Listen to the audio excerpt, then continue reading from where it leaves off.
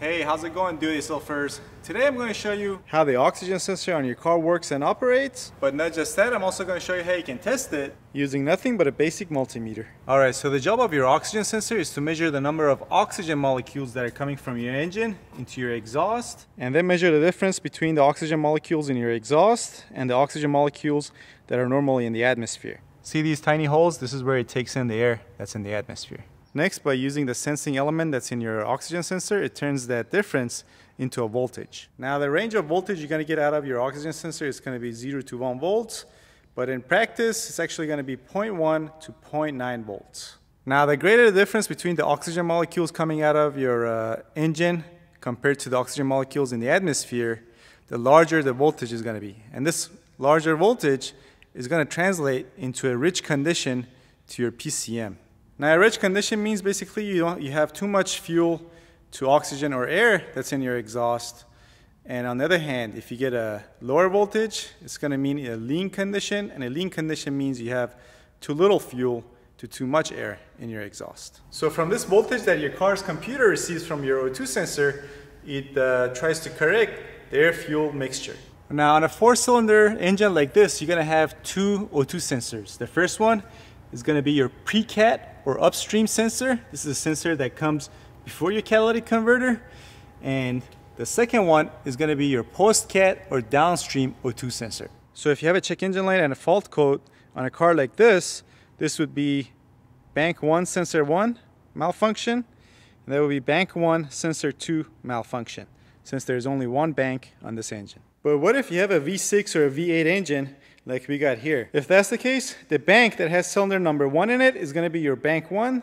The other side is gonna be your bank two. Now, if you can't find cylinder number one for whatever reason, here's a quick tip that will help you find it. Cylinder number one is gonna be always the one that's closest to your timing chain or timing belt. And if you were to look at your engine from the side, you can quickly find out which one is closer. In our case, it's gonna be this one.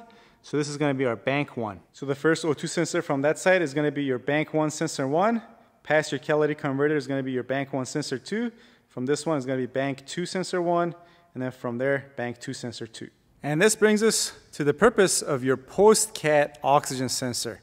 See, the post-cat oxygen sensor, generally speaking, is just there to monitor the efficiency of your catalytic converter. And if you have a good working catalytic converter and a good working oxygen sensor, you should pretty much just see a steady reading of 0.5 volts or something around that I should say but it should remain steady. So with that out of the way let's talk about the different types of oxygen sensors out there. And we will start from the beginning the one wire oxygen sensor. And these sensors that one wire is going to be your signal wire. This is the wire that sends the voltage signal from your sensor to your car's computer. And this sensor receives its ground by being screwed into the exhaust manifold.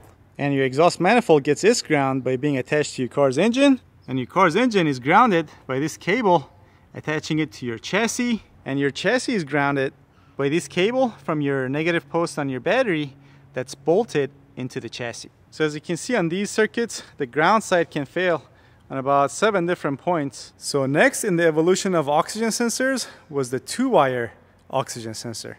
Given your oxygen sensor its own ground wire directly to the PCM. Now the sensing element in these sensors doesn't reach operating temperature until it reaches about 600 degrees Fahrenheit, I believe. And that can take a while. And if your car's computer doesn't have a signal from your oxygen sensor, it's not going to run very efficient and it's going to negatively affect your uh, MPG. So car manufacturers, in order to heat these up faster, decided to add a little heating circuit into these sensors. And these sensors with heating circuits came either with three wires or four wires. The three-wire oxygen sensor receives constant voltage from your car's fuse box or junction box, and it's switched on and off by the ground wire, which is connected to your car's PCM. The sensor has a signal wire, but it doesn't have a ground wire for the sensing element. It is grounded again through the exhaust manifold. Now on the four-wire oxygen sensor, as one would expect, the sensing element has its own signal and ground wires, and the heating element has its uh, ground wire which is switched on and off by your car's PCM, and again, its on voltage supply wire. Now, as far as how you can test these sensors, it's pretty easy. All you need is a basic multimeter. So first we'll test the heating circuit in this sensor. And the two wires for the heating circuit are usually the same color, uh, usually either white or black or sometimes gray. And we're gonna do a resistance check of this sensor. So we grab our multimeter, put it on the ohm setting, and we're gonna choose 200. Now the reading we expect to see is obviously going to be different from uh, sensor to sensor, but it's usually not that high. And as you can see, we got about 9.7 ohms, which I believe to be spec uh, for the sensor. So if you do this test and the readings are not within spec, you can just go ahead and toss your oxygen sensor. There's no need to go any further. Now if you have a check engine light and the code is for a heating circuit of an O2 sensor either short or open, and you do the resistance check on the heating circuit and it checks out, then it's time to check the wiring uh, on the wiring harness that is coming from your car's PCM and the junction box. So what you want to do is to grab yourself a test light and then you want to find the wiring harness for the said O2 sensor. Now I don't have an O2 sensor here with four wires. This is obviously a one wire sensor that's connected to this car. But I'm talking about the connector that's on the harness side, not the connector for the O2 sensor side. So you would remove this. And then you want to get in your car and start it. You just want to make sure that your car has been sitting for a while and it's cold because otherwise your car's computer might not command the heating uh, circuit on for your oxygen sensor. Okay, so you get in your car, you start it from a cold start, and then you get your uh, test light, you attach this side to battery ground, then you probe these two sensors on the harness side. And one of them should give you 12 volts, or in other words, light up your test light. If you don't get 12 volts, then you want to check this fuse in your fuse box. If that's good, then you might have a problem in this wiring that's coming from your fuse box. So if that checks out, you want to switch this side from your battery negative to battery positive and then probe the ground wire that's going to the heating circuit in your oxygen sensor. Uh, if you get a, if your test light lights up, then that's fine as well. If it doesn't, then you want to check this wire that's coming from your PCM. Or highly unlikely scenario, it could be a problem with your PCM. All right, so if the heating circuit checks out or if you have a check engine light for the signal that's coming from your O2 sensor, next it's time to see whether this uh, O2 sensor is capable of putting out voltage or not. So what you want to do next is to identify the two corresponding wire on the harness side that are for sensor signal and sensor ground, and then back probe these with your multimeter probes. And you want to set your multimeter to 2 volts on the DC voltage scale. Alright, so again, on this car, since the sensor has only one wire, I got my red test lead connected to the sensor. And I couldn't get a good back probe into the harness side, so I just connected directly to the connector for the sensor. But you try to back probe this harness side this way, you check the integrity of this connection as well. And then I have my ground wire connected to battery negative. So next we're gonna get in the car and start it. And then if it's from a cold start, we're gonna wait about 15 minutes to make sure that the car has reached operating temperature before we observe the reading on our multimeter. All right, so it's been about 15 minutes with the car running, so let's go check our reading. Uh, now, before we do that though, on a good O2 sensor, on an engine that's working properly, the reading should be oscillating between 0.1 to 0.9 volts. And basically should be going up and down. This is on the pre-cat O2 sensor. But if you're measuring the post-cat O2 sensor, the reading for that should be staying steady at 0.5 volts if your catalytic converter is working properly. So here's our reading on this pre-cat O2 sensor. As you can see, we got about 0.07 volts, which is way, uh, you know, below 0.1 volts. And it's not even oscillating. It's not even going up and down. It's just staying steady at about 0.07 volts. Now, before we condemn the O2 sensor though, we need to make sure that it's actually the O2 sensor and not, it's not the car that's running very, very lean. So what I'm gonna first try is to rev the engine by opening the throttle see if that changes the reading on this O2 sensor. In other words, see whether this O2 sensor is capable of reading higher voltage than this.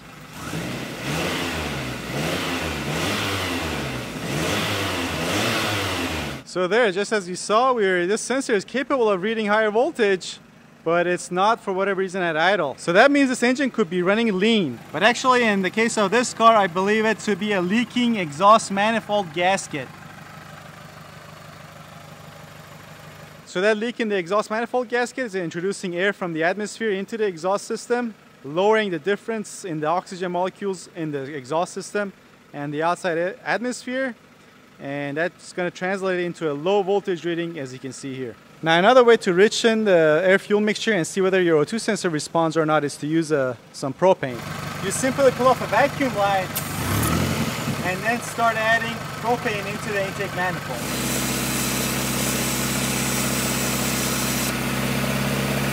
Now on the other hand, if this number was stuck way up, let's say about 0.8 volts, and it wasn't coming down or oscillating, and you wanted to see whether it was a sensor that was bad or there was a car that was running rich, all you would have to do is to pull off a vacuum line, introducing air into the intake manifold, and then observing the numbers. And these numbers would have to decrease if you have a working O2 sensor. Now if you test your O2 sensor and it's putting out voltage and it's also oscillating, in other words, it looks to be working properly, then you might have a short or a problem in the wires that go to it, either the ground wire or the signal wire. The way you can check the ground wire is to get your test light, put this side on the battery positive, put this on the ground, on the ground wire on the harness side. If your test light lights up, then the ground is fine. And then if the way to check the signal wire is, uh, this is a little bit more tricky. You know, you, you keep this end on the battery positive and then use your test light to introduce voltage to this signal wire. But then again, to see whether you're getting voltage at the PCM, you need to find your PCM, find the correct pin for this wire, and use your multimeter to read the voltage at the PCM. A much easier, obviously, way to do this would be to use a scanner capable of reading live data. You know, you do the same thing with the test light, introducing voltage to this wire, and then uh, you would get the scanner, read the, get the reading for that sensor, see what kind of voltage it's getting uh, from the sensor, if the voltage goes up when you put this on the signal wire, then that means that uh, you know the signal wire is probably in good shape and your problem lies somewhere else. Now before you start pulling out PCMs and working too hard, you got to keep in mind that these wires that go to these O2 sensors are really close to the engine or the exhaust manifold or exhaust pipes and these are obviously very hot uh, components and they could burn these wires, burn through the insulation and damage these wires. So you want to make sure you do a very close inspection of these wires before you, uh, you know, get in too deep. And that's all there is to it, folks. Hope that wasn't too much information and didn't confuse the hell out of you. If you didn't, do me a favor and share this video on your favorite social network or join me there. I'll put a link to my pages uh, in the description box down below. You may also want to consider checking out some of these other related videos of which I'll put links to on this side of the screen that you can click on. There'll also be links in the description box down below. Alright, thanks for watching. I'll see you guys next time.